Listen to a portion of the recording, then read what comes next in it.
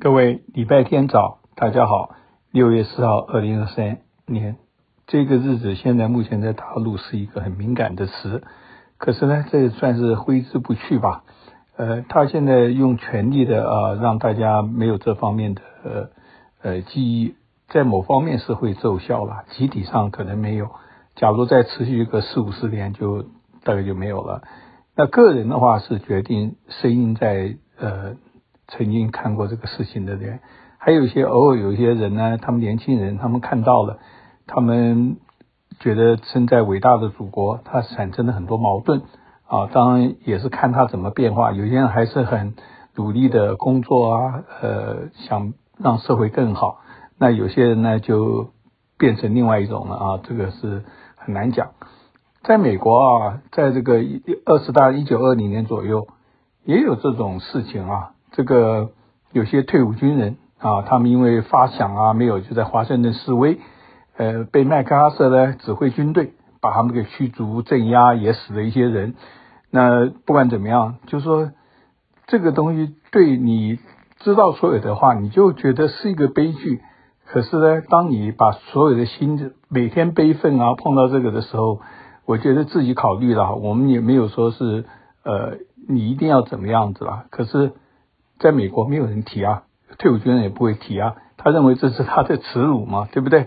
那在某些地方也是一样，所以我们呃目前因为还是近在眼前嘛，而且我现在想啊，那一年这个发生这个事情真的很多凑巧啊，我曾经我还有一段那个在 YouTube 我没有公开发了，就是我自己的感想六分钟的。因为呃，我父亲也在看的嘛，基本上老一辈的，哎，这些这边搞捣乱，怎么会不整呢？啊，这是一种啊。当然你说用坦克车杀了多少人，这是呃很多种的看法。而且那一天啊，真的是张德培第一次十七岁得了法网冠军。这个在某方面，他是一个信基督教的啊，他认为是神的主义啊。呃，多年之后你回想这个，因为。就是凑在那一天，一个华裔的人得的冠军，而且那时候的呃，基本上在美国，他父亲是台湾来的吧，啊，就是都是我们这种所谓的统派的啊，这种中国情节的人。呃，在大陆呢，他有这样子呢，就有各种力量想办法说这个是五二五三五纪念日，你随便加这些你就知道。那香港呢，有一个剧作人啊，创造这个，大概两三年前，当然在香港呢还在演啊。啊，当然也讽刺。那现在他全力的封锁这种东西的时候，呃，他当然就不能演了。然后台湾呢，这方面还算不错，就让他再继续演，然后还加入一些这个香港最近发生的一些呃各种各样，因为他们这方面的自由被压制的很厉害。那我不晓得人家，假如台湾我的朋友啊什么的都是非常支持，可是呃在某方面呃我是觉得都呃那个。别有用意的支支持，那赶快去看嘛啊！在台湾能够去的，这是很实际的支持的方法啊。那那个香港的那个维多利亚公园，这个也是持续二三十年的啊，这是很多警察在里边啊，你不能随便弄。在美国啊，这个几个华裔议员啊，大概就是你我我不愿苛责啦，因为他们觉得这个事情就放在那边。倒是一个韩国籍的啊，一个姓金的 Young King，他这个人是第一次有一次选没选上啊，被一个呃乐透奖的一个呃老莫这个打败，都是好几年前了。那时候，然后第二次还选又连任啊。他现在正好在外交主席，在美国这个众议院很奇怪啊，管世界的各种的事情，他认为自己是民主灯塔啦，他就来呃发表一个声明，大家支持的呢，让这个。提案呢，就做一个在他委员会的一个决议啦，就可以立案支持呃大陆跟香港的人权呐，这个也是无可厚非，这种理所当然的事情，他就特别提着，那报纸上当然会登了一下。呃，我看那个成员啊，可能这几个华裔的不是成员呐，所以基本上只是他里面那个委员会的一些人都支持啊。呃，我们知道的有三个，而且都跟台湾呃。大概跟大陆比较没关系吧，一一个是刘云平，呃，赵美心，呃，孟孟什么的哈，这几个都都没看他名字啊，我不晓得这个 民运人士会怎么样来攻击他们或者怎么样的，不过我觉得这个就是人家的一个小缺点啊，并不是说大的怎么样。哎，马英九今年也发生了，呃，他每年都发生，他只要对这种事，这个二二八每年去，人家吐口水他还去，那这个也是一样的。他这人是湖南人的驴子呃骡子的精神啊，他也发声，要希望大陆要正视历史啊。当他顺便也打了民进党一把啊，因为民进党很多对这个操弄是很很厉害，可是他自己的很多呃一些问题啊，他就说要反求诸己啊，对他来讲是管用啊，嗯，对蔡英文或对有些民进党的大概不管用，不过他就是发声，我至少看了报纸还登这个。那今天很好玩了，中国的神舟神舟十五号十五号他换班嘛，他就回地球，哎，是在今天降落。那以后把这些到这个纪念日，这个因为能够降落在地球也是很了不起的举动啊！三位呃太空人呃他们的航天员嘛出来呃每一个人都是爱国啊，祖国需要我，我觉得很光荣呐。然后呃我希望马上就下一次的这个呃飞行。我每次看这些各种各样的宣言政治语言啊，我已经到达一个年纪不。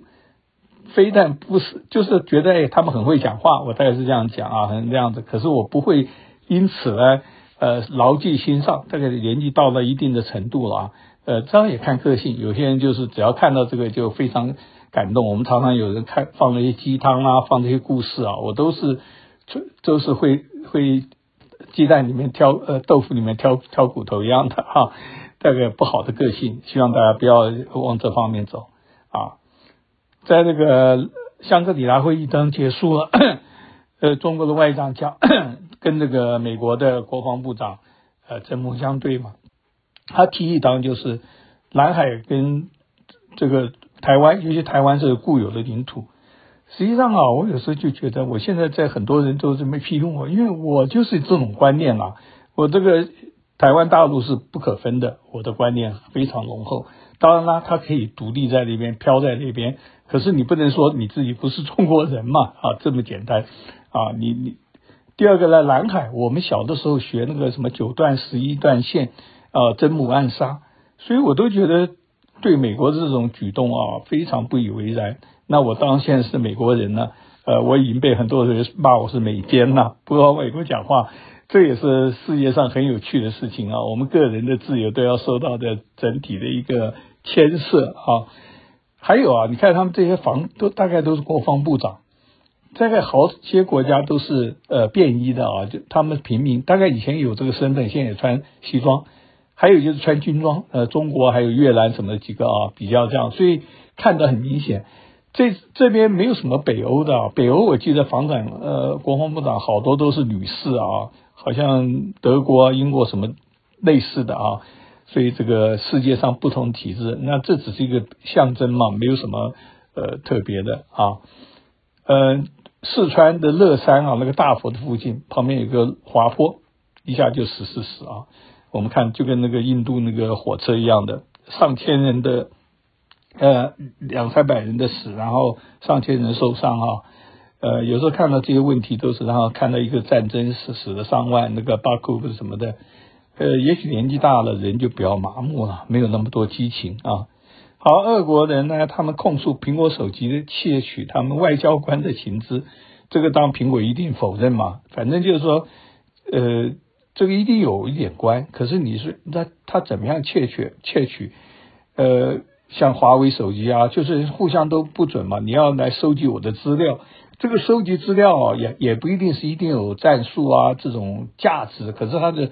普遍的，好像大陆呃前阵子开会那几个重要的那个办公室的地方都不准特斯拉的车子在附近啊，也是一样，因为它里面有电脑，广泛的收集资料，这个是一个世界趋势啊，到底要怎么禁止就不晓得。哎，美国有个智库呢，说中国呢没跟俄国的贸易呢没有增加，跟以前差不多。因为大家就说中国资助俄国啊，中国怎么样怎么样，暗地里怎么样？结果他公开的宣称这是美国的，啊，那不晓得是不是受了政府的某些方面给他是弄出一些橄榄枝？我们对你不是全面的舆论封杀，在个人上你当然知道，所有人都说中国是支持他。我觉得这中国根本都是很中蛮中立的啊，他放这边，那边呃说他什么无人机干什么干什么的啊，这些都是想办法打入他是一个不公不义的一个集团，这点我我是深深不以为然呐。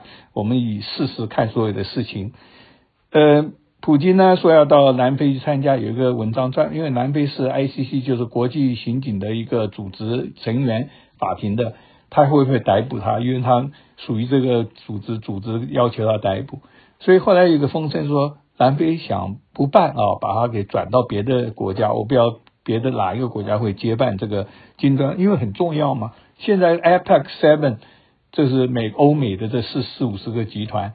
跟这个所有的别的第三世界，由中国啦、俄国啦、印度领头的金砖五国加加多少国，是一个各种经济、各种能力啊。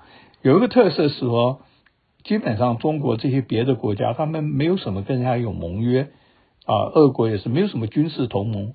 那欧美的呢，都是把它串成一块，人家打你，我就去防卫你。所以这个北约，你加入这个护身佛了，因为假如人家要侵占你。啊，我就动用猴子呃猴盒子的保护啊什么的，像呃日本、韩国，像台湾也一直说要美国保护你什么的。可是问题是，他承认是一个中国，他怎么跟你缔这个合约？他一缔合约就是就是就是就是争端呐，就是很危险的哈。所以这个这是一次大战这个十八九世纪的思维啊。我们每次讲什么思维，说要先进、先进、先进。到现在呢，还是讲以前，就跟有人说什么军队国家化，这个当然是现代的思维。可是有些人还是挺，还是进化不到。那你说这个就是大逆不道，就是非得要改，然后怎么样怎么样，这个很难讲啊。那他们这种拉帮结派的，这是显然的十八九世纪、二十世纪的，好像保护说人家大义。我就那中国并没有这个，都是看临时的一个决定。实际上，这个合约在某些方面。人家看利益啊，也是不一定一定保护你的啊，你不必把它当得很真。前几年看到德国的执政的联合党，他们叫红呃交通灯的联盟啊，红绿灯，他们总共加起来只有两成左右的人赞成他这个政府啊。他一个 AFD 一个选择党，就是极端的白人主义以后怎么样？他的声望现在跟这个绿党都差不多。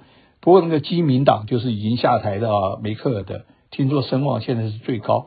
所以下次大选可能基民党又上台，这个民主的有就是这方面是一个呃不太稳定啊。我最近是看二次大战，法国啊、德国什么的，就是他们很多那种很快就就换换人换人，各种一换就政策就不定了。所以有些民主国家想办法让那个人像那个土耳其啊，呃各种强人他就多执政一点时间，可能对国家整体是比比较有利啊。当然了，你说他假如是集权贪腐，也是会更厉害啊，这个两难了。还有一个文章说啊，为什么很多美国的不是白人的支持白人至上啊？这个包括我们黄种人啊，我也知道一些人那种心态就是这样的。实际上，你说中国人，中国人种族歧视非常严重。我自己从那边长大的，我们从小对黑人啊，对这种不同的啊，就是那可是又对这种白人把他当神一样看待啊，实际上。真的没有必要啊！就是这个世界上，那我不要教育会不会转变这个？不过呢，他就探讨美国啊，因为很多老墨，尤其是那些呃巴那个古巴来的啊，就是这样子的。那我不晓得黄种人当然一定有一些啊，因为到这边都觉得自己思潮就受到这个影响。好，印度的呃，他应该也快要选了啊，这个莫提下一次就要。接受一个甘地家族的挑战，他一个甘地的一个儿子也长得年轻又有为啊。不过他是怎么样呢？说他一个涉嫌的一些案件，想办法判罪就不能选。不过他呢，呃，也是一样，他觉得就算谁当选啊，中印的关系都是非常严峻的。呃，在乌俄战争有一些很有意思啊，他这两方都有点内斗啊，自己互相指责。这个泽连斯基指责这个基辅的市长，因为前阵子有导弹嘛，有些人打死了几个人而已，他就说，哎，防空设施都不够，呃，不够多啊，不够坚强什么的。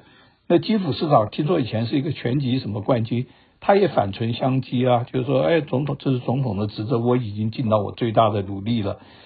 那这个俄国方面，那瓦格纳他很好玩，这个就更严重了。他说他从巴库木。撤退的时候，俄军在沿途放地雷，要炸死他们啊。讲那一点，他那一群都是监狱居多嘛，大概总是有这种矛盾啊，所以这个很有意思，双方都是，哎，真是意思那个那个调调都差不多。法国网球赛又有一些情况啊，因为白俄的选手啊，他这个他们打完就要个记者会，可是记者都是问他问题，哎，你对这个乌俄战争的看法？你对你们的那个总统啊，那个。据说是独裁者嘛，来什么那个比较老年纪大的，也是二三十年执政的，他不愿意回答，所以人家逼他就这次呢，他第三还第四人是，他就根本就离开，就是不开这个记者会了，呃，一定会受到一些处罚。可是你想想看，这记者也够烦的啊！他是一个白俄罗斯选手，那另外一个选手，呃，从那个哈萨克的，他是俄国生的，莫斯科生的。一二零一八年规划到啊，他以前都是俄国的苏联的嘛，他带领他也是好手，温布顿冠军啊，他打的第三第第四人，他就说因为受伤没有办法比赛啊。好，还有一些小道消息，应该是真的啊，因为在大媒体上说美军在叙利亚，他的标题很耸动啊，因为是大陆媒体说偷油，呃，几天就偷了四十多辆，呃，又偷了四十九辆什么的啊。我觉得媒体都不报道嘛，这是美国侵犯人家的土地，侵犯人家的主权啊！你在那干什么？这一群人啊，听说就是石油，是不是这些？他美国当然一讲哦，跟某些人签的约怎么怎么的啊？这不是一样的违反国际国际的这个规矩啊？好，加州的豪宅税啊，马上要召开了，就说多少尺以上？呃，这个特别我当然没看细节了，因为我也我也没有弄豪宅。就很多律师，很多人懂得这个里面的一些关节，可以把它在哪个时候怎么销售，怎么样的过来过去，就跟我们这房地产一个什么交换啊，你卖房子得了多少钱之后要交税，人家就会教你用交换的啊什么的这种的律师总是永远会钻漏洞，所以你说法规怎么办法完美？不太可能啊，总有漏洞。呃，昨天这个加州很好玩，在 Sacramento 一个天主教堂。啊，有二十六个吧，二十多个非非法移民啊，被人家运到那边。他怎么运呢？听说是用私人的喷射机从德州 El Paso 那边飞过去的啊。那加州州长很震怒啊，到底怎么样啊？因为加州是说是他们的天堂啊，他就把你送过来。可是问题是这有没有违法？我也很怀疑，很有意思啊。这个大家就互相斗来斗去吧。好，就这样子，大家一个愉快的星期日，拜拜。